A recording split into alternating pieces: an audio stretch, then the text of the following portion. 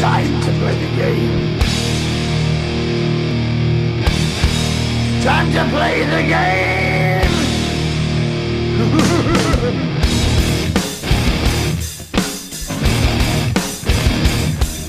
it's all about the game and how you play it. All about control. And if you can take it, all about your debt. And if you can pay it, it's all about pain. And who's gonna make it? I am the game, you don't wanna play me I am control, no way you can shake me I am heavy debt, no way you can pay me I am the pain, and I know you can't take me Look over your shoulder, ready to run We're here this morning with uh, Fort Frances uh, coach uh, Wayne Strachan. How are you today, Wayne?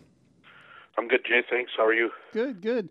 Been like I say for for the Fort Frances Lakers, it's been a tough couple of weeks with uh, like you say uh, with opponents, and um, like I say, the biggest thing is four four your games uh, in the last couple weeks have been uh, against. Uh, sorry, I apologize. Three games against uh, the top team in the country, um, the Thief River Norskie uh, Falls Norskies. Is that uh, hard on the schedule when you're meeting a team like that? Well, it's definitely tough. They're uh, a team that's uh, playing very well. Uh, have uh, um, numerous guys carrying them offensively, and and they have uh, great goaltending in uh, both goaltenders. And um, you know, if you're if you're not uh, prepared, and and in two of those hockey games, we kind of gave the game to them in the first period of just not being ready. And um, in the third game, I thought uh, we deserved uh, a better fate. We played uh, probably, maybe arguably, our best game of the the season, and um, good enough to win. But we, you know, uh, in the end, uh, some discipline uh, hurt us, and uh, maybe some outside factors and um, disputed goals and, and whatnot, also. But uh, they're definitely a, a good hockey team, and and uh, deserving of all the accolades that they've they've got early in the season, and and like I said, if you're not ready to play them, uh, they can hurt you uh, with their dangerous offense, and it's tough to score on them once they got a lead. And this this past week, like so you had three games scheduled. One was postponed with Dryden because of weather, and the one against North Bay, uh, sorry, North Bay, Thunder Bay, and um and and Ear River and Red Lake. Uh, you guys were outscored, uh, like say, eighteen to three. Is that just showing, like say, just things need to change uh, in in the roster or the lineup, or way things are happening, or stuff like that? Um. Well, definitely two hockey games you'd you'd like to forget about, and um, the first game against Thunder Bay, uh, I didn't think that we played a too bad of a first period, but then um, you know got outworked badly, and and um, you know, they filled the net on us. Uh, it was somewhat of a, a dismal effort. Um, and then Tuesday night uh, in uh, Red Lake against the Miners, we jump out to an early lead on the power play, and you know that's probably our first power play goal in in uh, five or six games, and um, and from there, uh, again, we just uh, got outworked and and uh, mental mental mistakes and the the same errors that we've uh, talked about all season. Um, with uh, with our defensive play are, are still hurting us, and um, you know the the personnel we have we believe in, um, but they're at some point they they need to care enough and and have that uh, pride in in our game and especially our defensive game to to make those mental changes and and work at them hard in practice. And you know we watch and watch them in practice and and things seem to be improving but in the games uh um they're not. And it's just you know simple things like getting pucks out of our zone uh tying up guys or boxing out guys in front of the net picking up your coverage away from the puck and, and not being puck focused and um you know if it was if it was just our uh our new guys that were doing it uh um you know you can live with the process that you you have to continue to to help them learn the game, but but it's veteran players as well, and at some point you have to, I guess, evaluate uh, your roster, and and that's what we're doing at this time, and um, we're going to make a uh, a trade today that um, sends a player out, I guess, but uh, and I can I'll announce that later today, but. Um, we're definitely in the mode that uh, we feel we need to get better in certain areas, and, and that's what we're going to try and do. And that's like you say, with 26 players on the roster, your active roster right now. Like you say, nine of them are rookies, and between the four rookies, they got 20 goals and 19 assists. And for your season totals, you're at 51 goals and 80 assists. So, so those nine rookies are producing, but especially those four rookies are are almost half of uh, half your goals and one fourth of your assists. So those four, four rookies are really uh, are I guess are working at, at the top of the roster for you right now. For sure, and you know we we needed to replace uh, some uh, some of our top forwards from last year, and and we we feel we've done a good job in in guys like Nick Lucas, uh, Jaden Ness, and um, like you mentioned, they're they're definitely uh, uh, players that have helped the cause, and and that's I guess that's what you not necessarily expect, but you need in in yearly turnover, and um, you try and find those guys that can can uh, improve your team and and bring it to the next level. And um, with those guys, I think we've done a good job. Um, but I guess we need we need more out of uh, some of our vets. Um, and we'll we'll return a, a veteran defenseman this weekend that uh, is very much needed, and and that'll help, and um, a couple other couple other injuries that uh, our regulars in our lineup will also return for tomorrow night. So um, things like that definitely help, but we do need more production from all, I guess, through the lineup, and and not have to rely on certain guys on a nightly basis. And, we, we, were ta- we were talking off air last uh, in the last couple of weeks, and you have Carter and uh, Asher um, Cherney in the roster being being brothers. Now, when I know, like I said, being a father myself, and you, you too, and like I say, having having brothers on a roster, how does how, how does that work when it comes to chemistry? Um, I, th- I think at this point, and and you know, last time we talked, Carter had just uh, somewhat joined the team, and um, Asher's been here since the beginning, and um, you know through throughout the process, uh, you know they seem they seem to be a little bit tough on one another at times, and and you know if if one needs uh, some improvement in one area or or maybe does does something that uh, isn't warranted, um, they're kind of vocal at each other, which is probably a, a family trait that most families have at, at those points. With and, brothers, yep.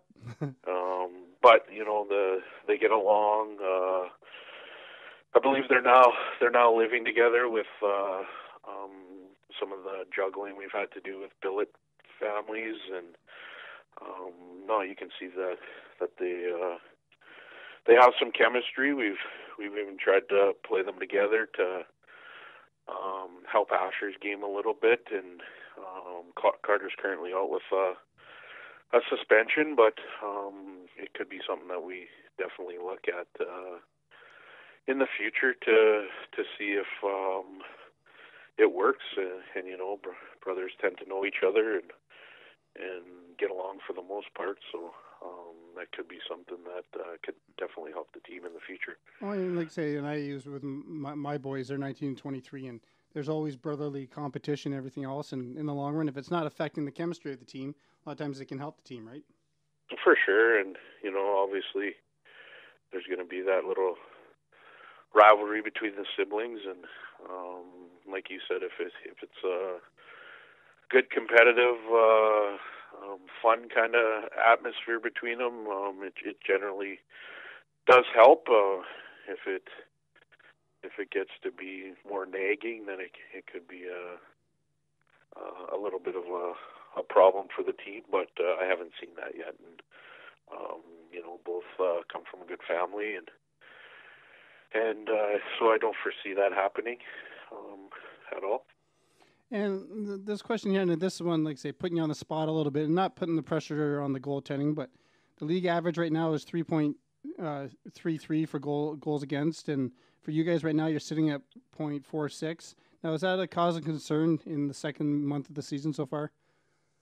Uh, for for sure. Uh, you know, I can't I can't beat around the bush about it. Um, you know, we we believe in the guys we have here, but obviously it's a you know you lose five games in a row, and um, especially giving up 18 in the last two losses. Um, in, and in watching, I guess, game film or or some of the goals, uh, there's definitely. Uh, a need where we need our goaltending a little more intense. Um, you know, are all the goals their fault? Uh, of course not. Uh, um, they're kind of the last line of defense at times, and um, when the other five guys uh, maybe aren't working hard or or getting the job done in front of them, it, it puts them in bad bad situations and and a lot on their shoulders. So um, I can't totally fault them, um, but I do I do believe that some of the goals uh, they would like back, and and if they have that fight and battle in them, uh, um, they would definitely uh, realize that they they're goals that we need stopped. Uh, in hockey games to help us win, and um, some of the close games we've we've lost. Uh, um, I hate to say it, but um, we have been out goaltended at times uh, during those hockey games. And like they say, in the last five games, you've been like say outscored twenty nine to eight, but it's not. A, you have twenty three other guys on the roster, and not not all those twenty nine goals have come from a two hundred foot shot. So it takes takes the opposition to go through five players before they hit the goaltenders, right? For sure, um, and I guess you know, kind of evaluating it uh, as a coaching staff and and even furthering that in in discussing some stuff with uh, veteran players. Um, as a whole, uh, I think we need everyone on the same page, and and we might not have that right now, and that's veterans included, and and you know we need to send a strong message that um, when teams are divided. Um, it doesn't work, and and I think our last uh, two games for sure have proven that. And um, you know, you lose five games in a row, there there's definitely concern in the in the coach's office and and whatnot, and um, you have to find ways to uh, find solutions to it. So you you do your you do your research and and you find out uh, maybe where you need changes and who cares who who wants to be here and who wants to battle through this um, and you know nothing's uh, nothing's finalized right now and nothing definitely uh, uh, no one's won the league so far. So anything can happen uh, between now and uh, March 17th or 18th, whenever the season ends, to to put you in a situation to have success in the playoffs. So that's our goal, and we knew it was going to be a process uh, um, throughout the year, and um, we're sticking to our plan, and and we're going to forge ahead to get better here and, and continue to strive to to reach our goal of winning the SIJHL. Exactly, and that's what we're, we're, we're talking early early November, and you still have four, four and a half months, uh, like say, left in the season, and going into this weekend, you uh, say you only have one game against uh, um, the Iron Rangers at home on the tenth, and then you have another week off before you meet Thunder Bay and Dryden. So, so again, there's always time, like I say, to before you have a chance to raise that trophy to to do what you have to do, right? For sure, and I I think it, a lot of it in our situation right now comes down to uh, certain veterans being positive leaders and and um, you know, grabbing the younger guys and saying, "Hey, let's go to the gym," or you know, let's uh, let's do the right things to to help the team prepare for for our game this week. And um, it's also certain younger players or first year guys that uh, need to realize, you know, they're not in AAA midget anymore or high school or or junior B or wherever they came from, and and it's a grind now. And junior A is obviously a, a tougher schedule, a tougher environment, and and if you're not dedicated to um, I guess uh, being focused and and realizing why you're here, it makes it a lot tougher to be at this level. And it doesn't matter if you're in the SIJHL or or in any league uh, across North America. If you're not uh, dedicated to yourself and the program, then um, you're going to find it tough to to stay at this level. And I think that needs to come to fruit in a lot of uh, our younger guys' minds and, and realize that uh, if they love the game of hockey that much and they want to be a part of something special, whether it's here or anywhere, um, then uh, they have to be dedicated and, and get the job done. And that's and that's and that goes and that's what I'm finding all, all over when it comes to to junior A hockey. It's not just the Fort Frances Lakers. It's it's junior hockey at all all over, and it's not just and I, maybe not just just just hockey. Is this age group is like you say when it comes to putting their mind to something, it's something. Some now they got to realize if this is what you want to be part of your life, you really got to like you say put your nose to uh, the grindstone and uh, work to what you want to get. Right.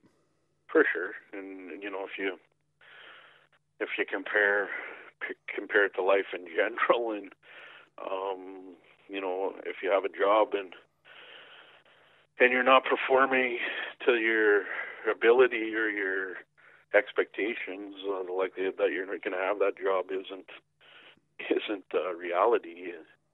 You know, your bosses are going to have to make decisions. So it's a it's a life lesson, a life skill, and um, you know, if you want to be successful in sports or successful in in your your everyday life if you don't uh, have respect for yourself and and dedicate yourself to the the things that you want to do or things that you want to achieve your goals then um, you're gonna have a tough tough road ahead of you. And I think that realization needs to to happen for us and and it can't happen in a, a month or two months. It's going to happen shortly here to to uh, get us on the right track. And um, I don't I don't believe we're a, a five nine one and one hockey team. I I think that we're uh, we're definitely better uh, in achieving more and but we have to realize that and, and put our nose to the grindstone and and get it done. Well, Wayne, thank you very much, and good luck tomorrow night against uh, Minnesota at home, and uh, we'll talk very soon. Okay, uh, thank you, Jay, and look forward to our next talk. Thank you.